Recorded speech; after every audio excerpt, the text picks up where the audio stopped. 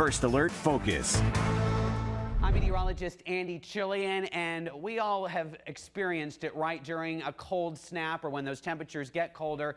We're starting our car and we get that warning for low tire pressure, right? So why does that always happen when the temperatures turn colder? Your tire doesn't have a leak. It all has to do with the air molecules inside of the tire and how they behave during those temperature changes. So let's talk about it here when we have some warm temperatures out there. We have the air molecules inside of the tire. They have a lot of energy. They bounce around, they move very quickly, so they often push against the edge of the tire and therefore it has higher pressure. Well, what happens when we get lower or colder temperatures, well, then they behave differently, those air molecules. During colder temperatures, they have a lot less energy. They don't move as fast. They stay or they huddle real close together. And so the pressure is going to be lower. They're not pushing up against the edge of the tire. And so there's going to be lower pressure there. And so for every about 10 degree drop in temperatures, you end up getting the tire pressure to drop at 1 psi or pounds per square inch. So for example, the temperature goes from 70 during the day to 30 at night,